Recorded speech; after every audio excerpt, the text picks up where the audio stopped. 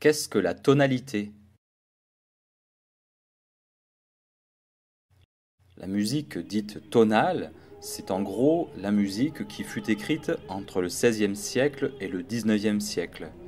Bien que la tonalité y fût encore très présente, le XXe siècle a été témoin d'une floraison de systèmes la mettant à mal, avec notamment la musique dodécaphonique, sérielle, la musique concrète, la musique électroacoustique, la musique spectrale, la musique répétitive, etc.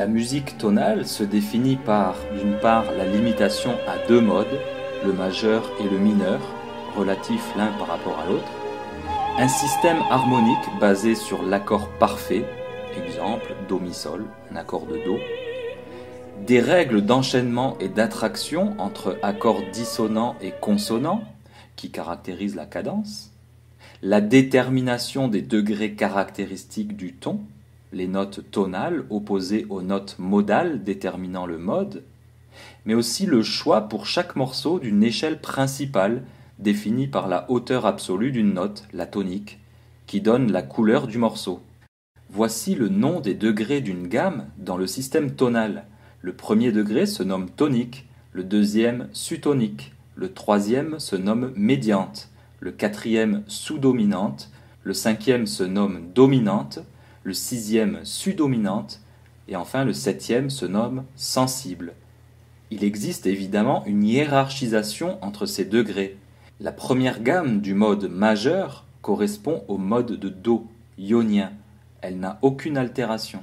Le système tonal, qui est né entre le XVIe siècle et le XVIIe siècle, va perdurer jusqu'à nos jours, où il est toujours aussi employé, dans tous les genres musicaux d'ailleurs, mais au cours du XIXe siècle, la tonalité va montrer quelques signes de faiblesse, et les théoriciens vont venir à mettre en doute l'efficacité de ce système. Alors de quelle faiblesse s'agit-il? Tout d'abord, il s'agit de l'emploi de plus en plus massif du chromatisme. Le chromatisme est défini par la gamme chromatique, c'est-à-dire euh, la succession des demi-tons Do, Do dièse, Ré, Ré dièse, Mi, Fa, Fa dièse, Sol, Sol dièse, La, La dièse, Si, Do, les douze demi-tons d'une octave. Tout au long du XIXe siècle, les compositeurs tels que Hector Berlioz, Franz Liszt ou encore Richard Wagner ou Gustav Mahler ont recours à ce chromatisme et à des harmonies plus audacieuses. Écoutez ce passage de la première ballade opus 23 de Frédéric Chopin.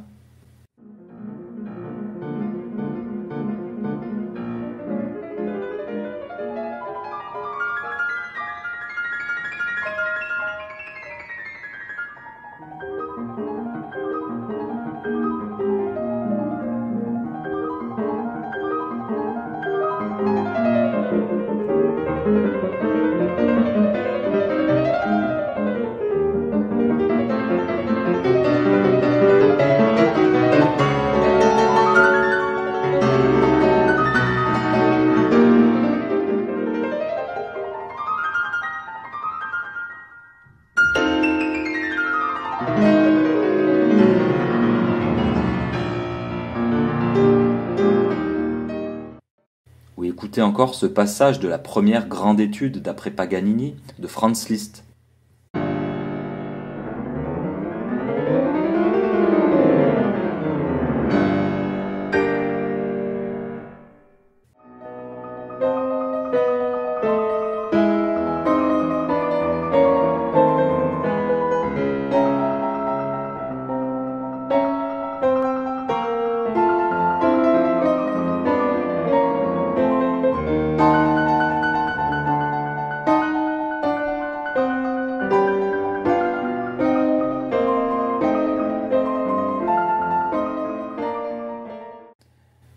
Vous constatez que dès Chopin, en fait, le chromatisme est pleinement employé. La deuxième faiblesse du système tonal est purement théorique. Elle est mise en lumière par le premier accord de l'opéra Tristan et Isolde de Wagner. Il s'agit d'un accord de sixte augmenté en La mineur, où le sol dièse est l'apoggiature du La. Ce simple accord a divisé les théoriciens car ils avaient tous leur propre interprétation de l'accord. Cette remise en cause de la tonalité va faire entrer la théorie musicale dans l'atonalité, en un seul mot cette fois-ci, atonalité, qui est la première pierre de l'édifice singulier et souvent instable que constitue la musique moderne. Mais avant d'assister à la suprématie de l'atonalité, on peut voir un renouveau de la musique modale au travers de quelques œuvres de compositeurs tels que Claude Debussy, Éric Satie ou encore Maurice Ravel,